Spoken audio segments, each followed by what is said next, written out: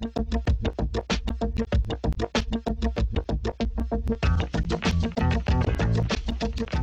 want to talk about a device and app that I teased on the Facebook page the other day. You all did see that, right? Because you all have taken a moment to like my Facebook page so that you can be notified of not only new videos, but blog posts, giveaways, and lots of great information um, all over there on the Facebook page. Link is right down below. Take a moment and uh, like that, please.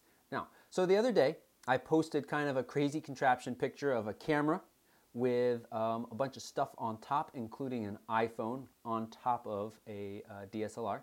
And I wanted to talk about that today. So, what I was teasing was a, um, an app called Triggertrap. And what it does is it turns your smartphone into a really kind of nifty way to trigger um, to take a picture with your DSLR. Now, before we jump all the way into that, I want to talk a little bit. Now, you, you may know from my other videos and other discussions that I love shooting time lapse videos. I don't get to shoot, do it as often as I would like, um, but they are a lot of fun. There's something kind of magical about time lapse. Um, and what I usually use is something like this little intervalometer. Um, this is 13 bucks off of Amazon. This is great for shooting time lapse. It's also great for doing family pictures. Talk more about that in just a second basically it allows you to say every X seconds, take a picture. Every five seconds, 10 seconds, a thousand seconds, um, and you can go up to minutes, of course, and say take a picture every five minutes or something of that sort if you really want a really long, um, to create a, a time lapse that extends over a long period of time. You can also use it to control bulb mode in your camera. So you can take an exposure for more than 30 seconds. I don't know if you know or not, but the internal limit to the length of an exposure on a normal DSLR is 30 seconds. Uh, it won't keep the shutter open for longer than 30 seconds unless you're in bulb mode. Um, and you can hold the shutter down. That doesn't work very well though. What you really want to do is attach um, a device like this um, so that you're not actually physically touching the camera and shaking it while the shutter is open. And of course you can automatically say every five uh, minutes take a picture for a minute in length star trails, uh, night photography, and things of that sort, that's where you would really want to uh, use that technique.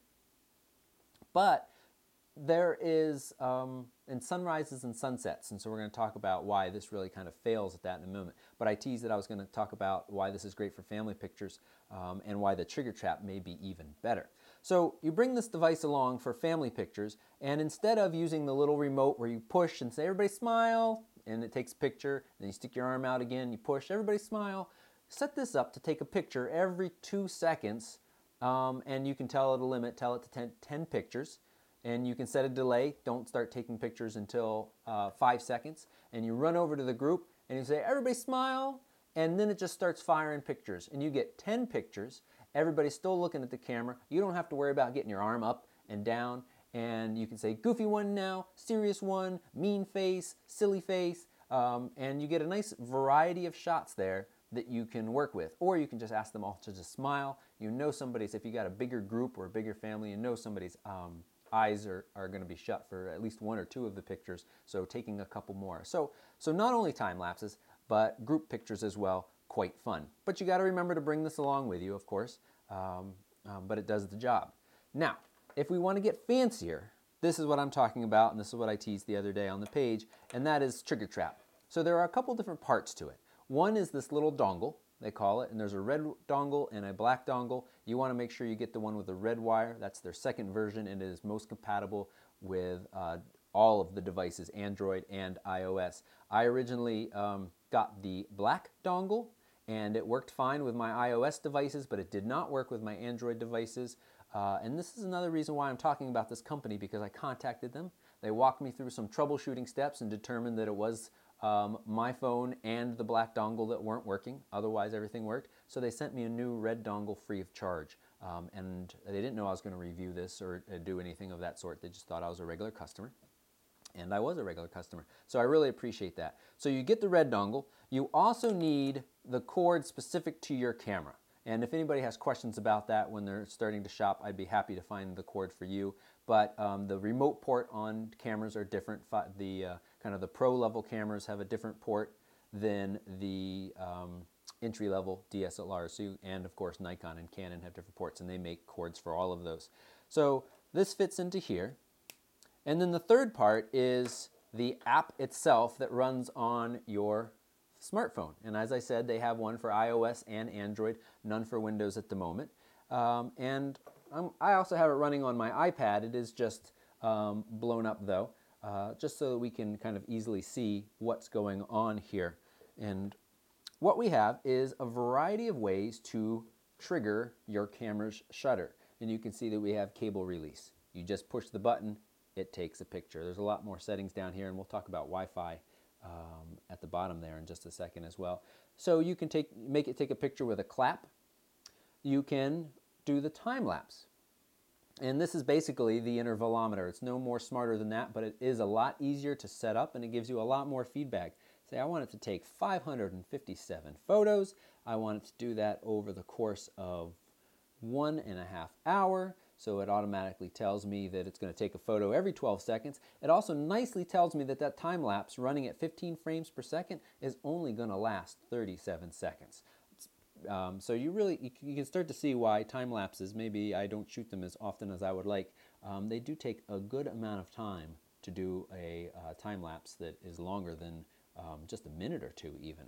So that's the time lapse. There is the time warp, time lapse with acceleration, so that will allow you to speed up and slow down over the course of the time lapse. Distance lapse I have tried. Um, again, I'm showing you all this on, on iOS device. It is very smooth, works very well. I have been playing with it on both devices and I've noticed that on my Android phone, a Rezound, um, it is a little on the buggy side. I've also played with it on a Galaxy Nexus 7. I'm sorry, not a Galaxy, a Nexus 7. Um, and it was much, much smoother. So I think it's, you know, more of a device issue um, than an OS issue. But just be warned, if you have a Rezound or some other Android phones, you might find it to be a little bit buggier. Another um, bit of difference worth pointing out is that very few of the sensor options that are available to iOS on the iOS side, uh, things like the bang, the seismic, the peekaboo, those um, and motion, those are not available on Android. So um, I don't know why. I don't know if they need to do more development or if that is just not available to developers if those API calls aren't available to developers. I'm not sure. If anybody knows, please leave a comment. So definitely a more full-featured app um, and experience on the iOS device. That's important to know. Um, so uh, we were talking about the distance lap. So that is pretty slick. You can obviously set up a time lapse while you while you drive, and it's going to take a picture every X seconds. What a distance lap lets you do though is it ties itself into your GPS and you can tell it to take a picture every, here we got 250 meters, but you can obviously go up uh, much higher to uh, 1.5 kilometers, which is basically a mile. Um, so from anything from a very short distance to a much longer distance, and that's going to give you a different look than a time. If you're stuck in traffic and things of that sort, um, you're not going to subject somebody watching your time lapse to also be stuck in that traffic because it's still going to work at the same speed because it is distance triggered and not time triggered, which is pretty slick. The one that I think is uh, really exciting and that I want to talk um, a bit more about, and this is why I had it set up this way, is the facial recognition. So you run that, and right now you're seeing my ceiling because um, the iPad is pointed up at the ceiling. But if I put this camera back on and we switch over to the camera where you can see me, and uh, so I now have my, I have the iPhone on here and I am plugging in the remote to the camera and it's all on. And in the app, I'm going to do peekaboo and facial recognition and I'm going to tell it trigger on one face. So right now it sees my face, doesn't see my face, it's stop. It's not taking a picture, sees my face. So you could set that up for three, four, five faces, and once everybody is in the group and everybody is looking at the camera, the little iPhone on top, it's using the camera, the camera on the iPhone, in the iPhone, um, is watching for faces. It sees those, detects them, counts them, and when it hits the required number, uh, it triggers the shutter and it starts firing. Pretty slick. So, uh, there is also motion and bramping. I want to talk a little bit about bramping because uh, mostly because I got up super early in the morning for uh, two mornings in a row. By super early, I mean about 5:30 a.m. A lot of people like to do time lapses of sunsets, and so we're back to talking about this device right here again. The issue with a sunrise or sunset is that your light levels change very rapidly. Uh, and if you set up a time lapse and you tell it to take a picture of, you know, 1 60th of a second for every five seconds till the sun sets, what's going to happen with a standard time lapse with no change over that uh, period of time is that very quickly your light levels are just going to go dark and you are going to get a drop off of light and your video is going to be your video that as a result of your time lapse is going to be quite short what you can do by bramping is you can say, well, my first exposure should be 1 60th of a second long, if we're capturing a sunset, for example. But as that light level drops, increase my exposure. So over here, I'm going to say first exposure 1 60th of a second, last exposure be a full one second. And so what the, um, the brains of this smartphone are going to do now is each picture it takes is going to kind of microscopically in time extend the length of that exposure to smoothly move from 1 60th of a second to 1 second. How does it do that? Because you've never seen your um, camera be able to make a micro adjustments. You know, you go from 1 60th to 1 30th to 1 15th. Well, it can do that through the bulb mode, the bramping. You can control the length of exposure down to a really tiny fractions of a fractions of a second in, in length. The downside of this is that there's no feedback and you have to make a guess. And that's why I had to get up uh, two mornings in a row. And that was actually even after trying to catch, capture a sunset. Um, and that is you have to say, well, over the next hour, I think the exposure levels are going to change about six stops. And so you guesstimate that it's six stops. You put that into the little Bramper device. You put it into the Triggertrap app, and you're either right or you're wrong. On the second morning, I was much closer. I think it was actually about four stops of light over an hour. You can see that it caught some color um, in that. And you can see that the one, at the same time, I ran one using the intervalometer with no change over time. And you can see that that very quickly blew out, just completely brightness gone, not very exciting. Now the subjects in general here is just straight out of the office window um, at the top of the neighbor's house and um, very unexciting. But what we're looking at here is the change in light levels from the intervalometer, which wasn't doing any bramping, just telling it to take a picture every X seconds for so and so length, versus the Bramper, which did allow for um, adjustment of exposure over that period of time.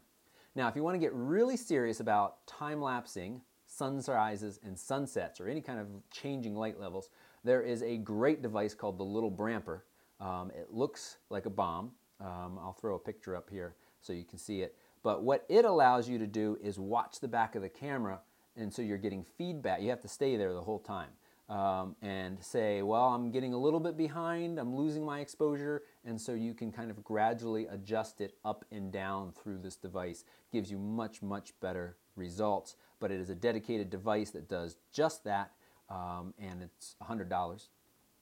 And this all is the app is free until the end of the year, that's what they're saying. The dongle is 25 and then the camera the bit that is specific um, I think is in the neighborhood of 5 to $10. I'll have to double check on that, but that's I think that's um, what we're talking about. So, it's a really neat little device.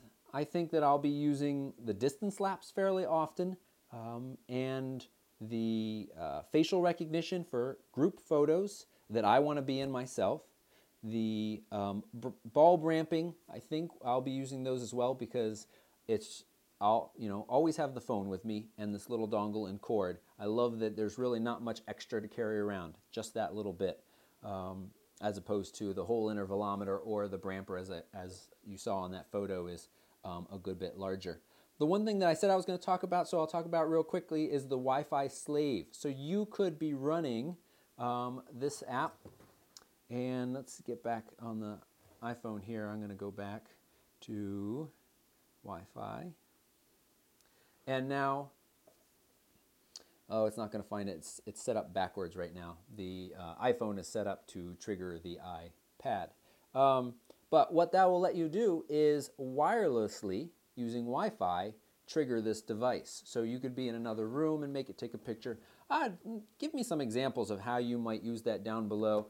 One of the things I thought is at my office, an adorable little red squirrel sits in the tree outside often. I'd love to kind of duct tape my camera to the branch, put a little nut in front of it, wait for him to come by, hit the button, and um, have it trigger. Hit the button from the comfort of my office, hit the button, and have it trigger and take a picture of the little squirrel out there. But so, and someday maybe I'll do that and share it with you all. So that is Triggertrap, the app, the dongle, camera specific cord really kind of nifty way. Um, a lot of functionality in there, a lot more than just the intervalometer. Um, but you do have to obviously have a smartphone device, iOS or Android. If you have any questions about Triggertrap, time lapses, um, bramping, which I just kind of touched on that idea, could talk about it lots more, and I could point you in the direction of people that are lots more experts um, in that area than I am or general photography, please leave a comment down below, or as I said, go over to my Facebook page, like that, and leave a message there. I prefer to communicate on the Facebook because there's no comment limit and I can provide links. A lot of times people ask me for specific rec recommendations, um, and when I say go get such and such an intervalometer, it's nice to provide a link that says, here it is. It's also nice because that allows me to use my affiliate codes. Uh, there were no ads before or during this video, and I do um, that because I find ads personally annoying. And what I would like you to do is use the Amazon links to buy things. Please, I make a small percentage and it allows me to keep producing these videos. Thank you for watching.